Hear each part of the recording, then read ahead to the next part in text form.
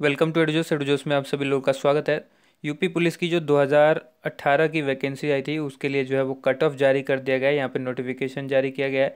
इसमें कहा गया है कि ऑफलाइन जो परीक्षा ली गई थी, उसकी संवीक्षा और शारीरिक मानक परीक्षा हेतु जो अर अभ्यर्थियों का कट ऑफ़ मार्क्स है, वो यहाँ पर जारी किया गया है, ठीक है? और एक और सूचना है जो ये भी जारी की गई तो आइए चलिए देखते हैं इस सूचना में क्या कहा गया है इस नोटिफिकेशन में। ये नोटिफिकेशन है, इसमें देखिए यहाँ पर जो कट ऑफ़ की बात की गई है और शारीरिक मानक परीक्षण जो है वो पाँच बारह दो हज़ार अठारह से जो प्रारंभ होगा वो भी यहाँ पे कहा गया है।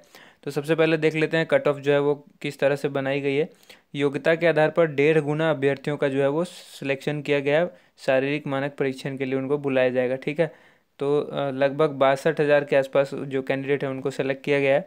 और यहाँ पर अनारक्षित यानी जनरल कैटेगरी के लिए जो है मार्क्स, कट ऑफ़ का जो मार्क्स है दो सौ पच्चीस point zero three two eight eight, ठीक है? अन्य पिछड़ा वर्ग के लिए है दो सौ सोलह दशमलव सात चार दो चार और अनुसूचित जाति वाले के लिए है एक सौ सतासी दशमलव नौ नौ छः पाँच पाँच और अनुसूचित जनजाति वाले के लिए है एक सौ तिरपन दशमलव तीन एक एक सात दो। आप सभी को पता होगा, इसमें भी नॉर्मलाइजेशन यूज़ किया गया है और नॉर्मलाइजेशन के थ्रू ही इसके जो है मार्क्स निकाले गए हैं।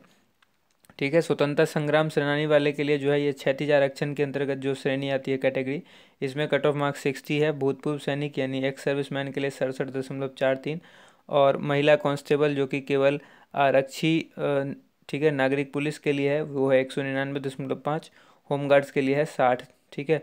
तो इतने पॉइंट्स को है जो जो कट ऑफ़ आए हैं ये इस तरह से थे। तो जो लोग 2019 की परीक्षा में अपियर होंगे, ठीक है, उनके लिए भी ये चीज़ देखना बहुत ज़रूरी है कि उन लोगों को एक आइडिया मिलेगा कि कट ऑफ़ जो है वो किस लेवल तक गया हुआ था लास्ट टाइम और उससे अपनी तैयारी को बेहतर कर सकेंगे, ठीक है? तो जो टोटल वैकेंसी थी इसमें अठारह हज़ार पदों को भरने के लिए, ठीक है? तो इसमें टोटल तेईस हज़ार तेईस हज़ार पाँच सौ बीस और ये अठारह हज़ार तो ये इतनी वैकेंसी थी, जो कि आरक्षी, नागरिक पुलिस और पीएसी दोनों को मिलाकर ये वैकेंसी थी 2018 की, और इसी तरह से 19 की भी वैकेंसी आ चुकी है फॉर्म भरा जा रहा है। तो जिन लोगों ने फॉर्म भरा है, उन लोगों को ये चीज़ देखना ज़रूरी है और उसी हिसाब से अपना जो है प्रिपरेशन स्टार्ट कर देनी चाहिए। तो उम्मीद करते हैं वीडियो आप सभी लोग को पसंद आई होगी। वीडियो को लाइक कीजिए, ज़्यादा से ज़्यादा शेयर कीजिए और जो लोग चैनल से पहली बार जुड़े थे, वो ज़रूर इस चैनल को सब्सक्राइब कीजिए ताकि इस तरह की वीडियो की नोटिफिकेशन आपको मिलते रहे।